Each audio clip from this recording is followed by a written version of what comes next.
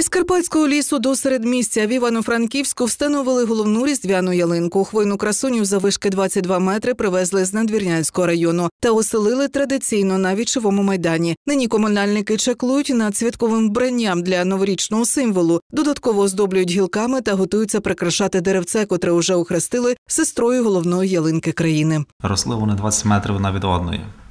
Планували спочатку, що та ялинка, яку ми подарували Києву, буде тут стояти в місті. Загалом е, ми змінили гаму кольорову ялинки.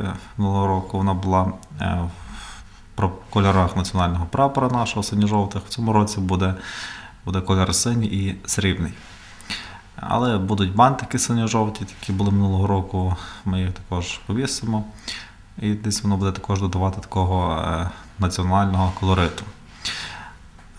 Ну і додали деякі елементи по е, освітленню.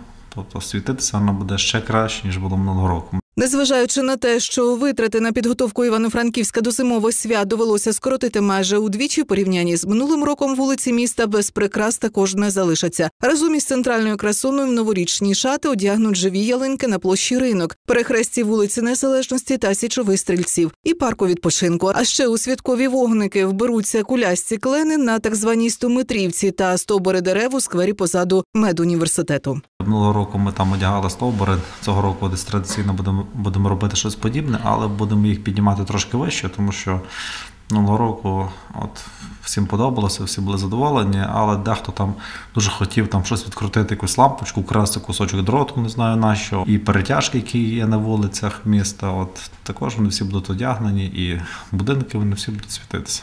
Традиційне відкриття новорічної красуні запланували на свято Миколая 19 грудня.